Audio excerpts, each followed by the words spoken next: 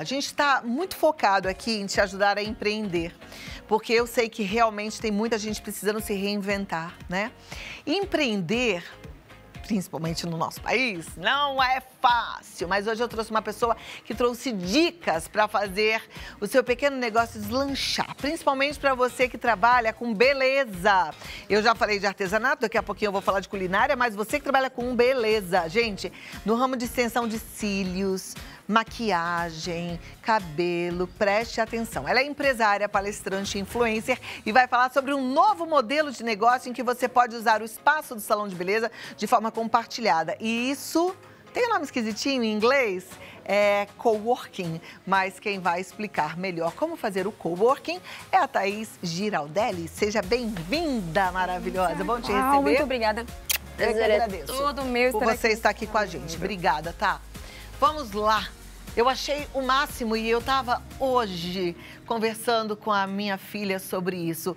O ramo da beleza, ele tá com muitas oportunidades e ele tá muito promissor financeiramente falando, né? A gente até falou ainda há pouco das maquiadoras, de noivas, que os preços estão nas alturas, Valores né? exorbitantes, é, né? Tá hipervalorizado.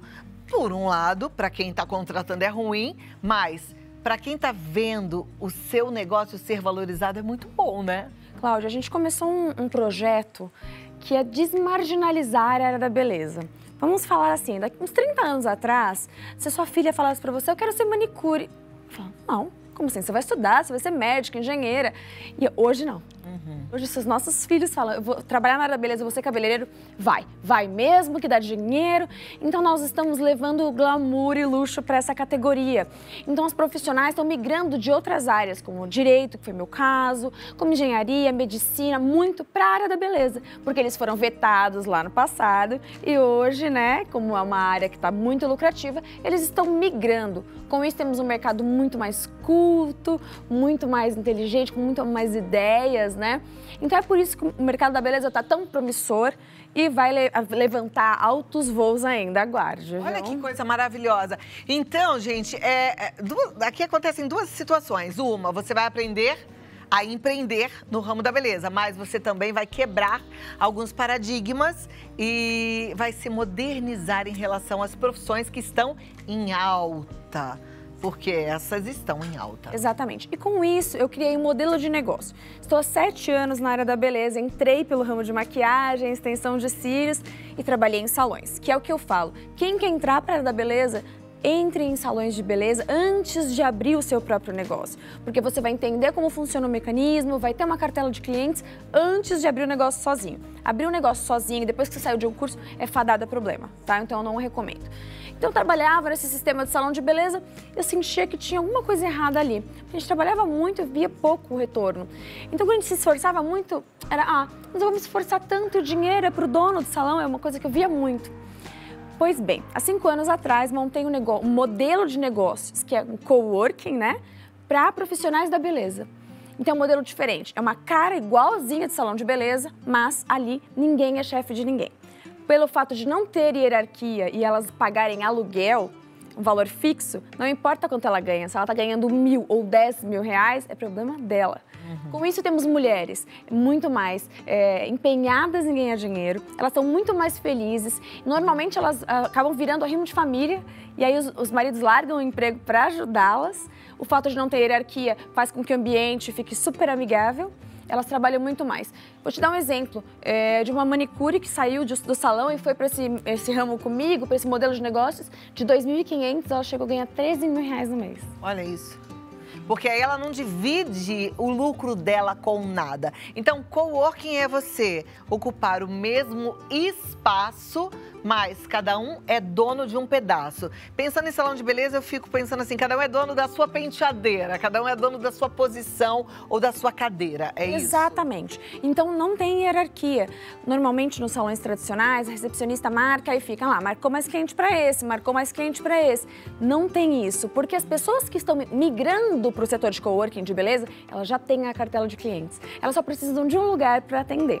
Uhum. Então, é importante também que se você não tem clientes, esse este modelo de negócios não te atende. Então existem algumas coisas que você tem que pensar antes de migrar. Parece muito lucrativo, mas tem um momento. Não é de cara, não é logo quando você faz um curso. E esse coworking não é só para beleza. A gente pode colocar isso para várias modalidades, para várias profissões. Exemplos. Vamos ver, vamos dar um exemplo de um escritório de advocacia. Ah, sim. A gente abre o escritório. Um advogado é trabalhista, outro civil, outro, cada um com a sua outra especialidade, mas no mesmo lugar, que a cliente tem várias opções, mas cada um dono do seu próprio negócio. Um exemplo.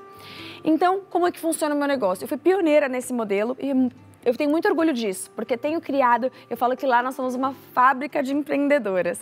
Muitas mulheres felizes estão conseguindo realizar os seus sonhos com o seu dinheiro próprio.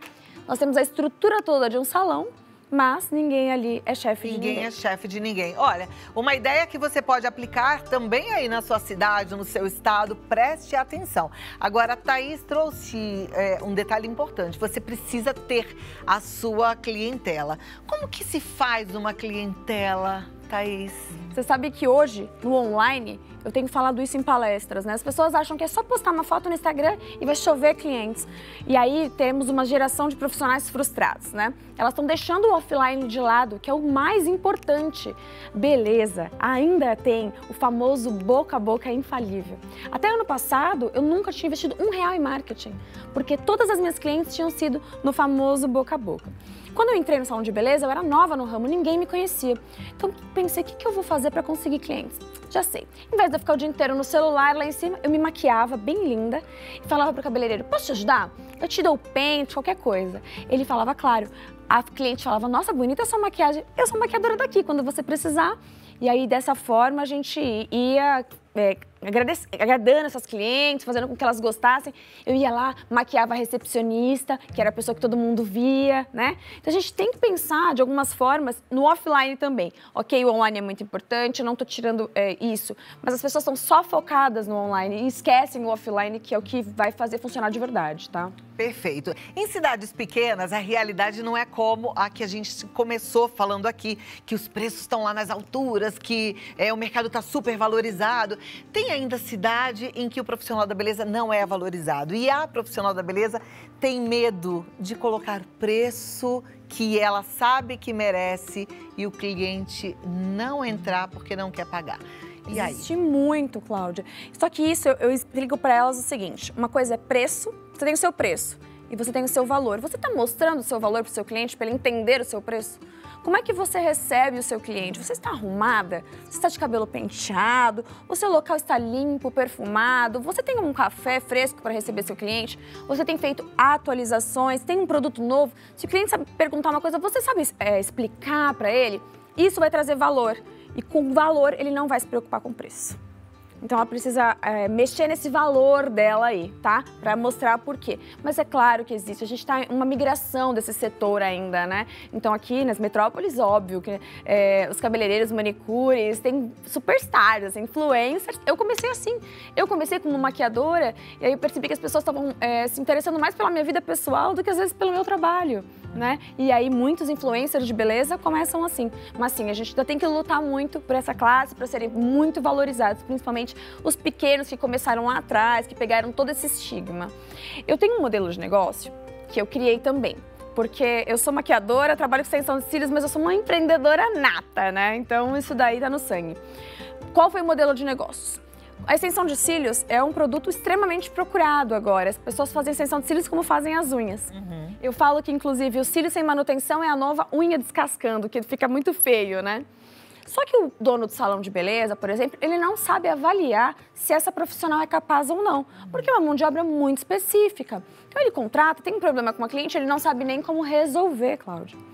Então a minha ideia foi, minha ideia é que já está em andamento, nós já temos é, unidades funcionando, eu vou nesse salão, eu monto a minha empresa lá dentro, como uma licenciada, e ali tudo é meu. Todos os móveis, o funcionário, o material, tudo é meu e eu inverto. Eu, eu pago um percentual pro salão.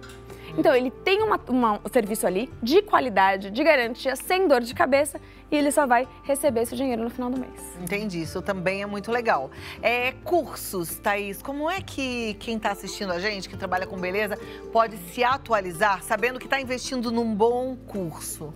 Também é uma coisa que eu pego muito, viu, Clau? Porque as pessoas estão muito frustradas e frustração é muito rentável.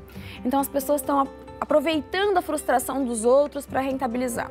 Então, qual é um curso bom? Procure as pessoas que já fizeram esse curso. Não vá procurar, por favor, aquele online que custa o mais baratinho da internet. Ele não vai te entregar o que você precisa. Então, não caia nisso. Procure um curso sério, de uma instituição conhecida, que seja online. Se você já é um especialista, é só uma, é uma atualização, que seja online. Mas se você está começando online de forma nenhuma, você precisa aprender pressão de mão, seja qualquer que for a área da beleza. Então, o primeiro curso tem que ser presencial e depois recorrer para um online. Às vezes as pessoas já começam com uma preguiçinha aqui. Ah, eu vi que extensão de cílios, eu vi que maquiagem dá dinheiro, vou fazer um cursinho online. Não funciona, você já vai na primeira seletiva ser expulso desse mercado. Ok. É, para quem tem lá o seu pequeno negócio, é importante fazer de tudo ou se especializar em um único assunto? Por exemplo, Nicho. eu faço só cor de cabelo, hum. eu só corto. O que, que você acha que é mais interessante? Eu acho que dá para fazer tudo especializado em uma coisa. Olha, tem um salão de beleza no meu bairro que ela faz tudo, mas ela é especializada em progressiva. Então, a maioria dos clientes vão lá e vão procurar isso. Agora, você como profissional, eu como profissional, eu não faço cabelo, eu não faço unha. Eu sei tudo, fiz todos os cursos, por quê? Para eu fazer o gerenciamento do meu espaço. Mas não adianta eu querer abraçar o mundo. Não adianta fazer cabelo, maquiagem, unha e não adianta, eu não vou ser especialista em nada. Então foque em alguma coisa, faça cursos referente àquilo. Quando você tiver craque naquilo, você pode avançar em outros, é, outras modalidades parecidas com aquilo, Cláudio. Perfeito. Você tem em mente assim, alguns erros muito comuns que os empreendedores, as empreendedoras de beleza cometem? Sim, muitos. É, primeiro, você está vendendo beleza, então você tem que estar tá pelo menos maquiada e arrumada de cabelo penteado. Todos os dias? Tá, todos os dias. Você está vendendo autoestima, você está vendendo o estilo de vida, você não pode estar diferente daquilo. É muito importante. Outra coisa, eu não vendo meu produto, nem vendo meu serviço. Como assim, Thaís? Né? A gente trabalha com isso, como é que você não vende? Não, eu faço o cliente querer. Por exemplo, você está no salão de beleza, chega, você não quer fazer a unha, você quer fazer o pé, menina, eu faço a sobrancelha. Deixa eu... Você não se sente um pouco constrangido, uhum. tá? De falar não? O que, que eu faço lá? O que, que eu me indico para essas pessoas fazerem? Eu faço elas desejarem o meu produto. Eu faço elas desejarem o meu serviço. Eu falo, Cláudia, olha o que eu fiz na minha unha essa semana. Olha que esmalte diferente. Você viu? As meninas arrasam. O dia que você precisar, tem aí. Pronto, já plantei a sementinha. Uhum. Quando ela vier da próxima vez, ela vai fazer o. Ah, ela tá aí, será que ela tá livre? Posso fazer agora? É diferente. É uma dica aí também importante para quem está começando. Jeito de abordar o cliente, né? Jeito de abordar. E tem uma coisa que está acabando com muitos profissionais. O quê? Celular. Olha isso, gente, celular. Aliás, não só no ramo da beleza, em qualquer ramo, celular. Quem nunca passou por aquilo de estar fazendo a unha e a manicure tá aqui, ó. Tá, mas amanhã eu tenho cliente, amanhã tá, tá fazendo assim. Gente, ela vai pegar esse alicate e vai cortar. Terrível. É terrível. A gente se sente desvalorizado, a gente paga aquele momento para isso. Eu entendo que muitas vezes elas precisam fazer isso porque não tem ninguém para fazer agenda, tudo. Deixa uma mensagem automática no WhatsApp, que assim que ela terminar os atendimentos, ela retorna e não faça isso. Ela, a cliente se sente desmerecida e não retorna. Eu sou uma que não retorno. O cliente é a alma do negócio também no ramo da beleza? Nossa, eu falo que quando eu era CLT eu tinha um chefe, agora eu tenho 30 chefes por dia. E de verdade, eu ainda eu atuo, ainda atendo, né? Só falta colocar o tapete vermelho para as minhas clientes passarem. Elas são a alma do negócio. E não tem essa de cliente tem sempre razão. Tem essa que às vezes eu falo, não, você está errada, eu não posso fazer dessa forma. E aí elas falam, tem, você vai discordar dela, ela vai fazer em outro lugar. De forma nenhuma. Se você discorda dessa cliente, ela vai entender que você tem é, conhecimento para falar, não, mas se eu não vou fazer isso, mas por causa disso, disso, disso. Pronto. Ela entende, vai ter muito mais confiança em você. Que você não vai vender um produto para ela só porque é dinheiro, né? Mas é, as clientes hoje em dia também estão ficando um pouco mal acostumadas, né? Então, vivem no celular também, atrasam muito. Então, quem trabalha com o público na área da beleza tem que ter um bom senso ali muito grande, é difícil. Cliente insatisfeita, Thaís. Vamos supor que você venha cortar esse cabelo lindo aí eu cortei seu cabelo, você vai chorar. E aí, como é que o profissional deve agir? Isso daí vai determinar se ele é um bom profissional, se ele é um bom gestor ou se ele só tem que ficar ali nos bastidores. É decisivo esse fator. Se eu tenho alguma intercorrência, as minhas profissionais elas não sabem o que fazer. Eu sempre tomo a frente, até isso é errado da minha parte, eu deveria deixar elas mais um pouco, mas isso é de gestor. Primeiro, vamos encontrar a dor dessa cliente. Ficou errado? Então tá, vamos, posso tentar corrigir? Ah, mas doeu. É, você precisa de um remédio? Posso te ajudar? Ai, cortei errado, é, ficou muito curto. Vamos conversar? Tem um lugar aqui que coloca um mega hair? Eu posso te ajudar, te indicar.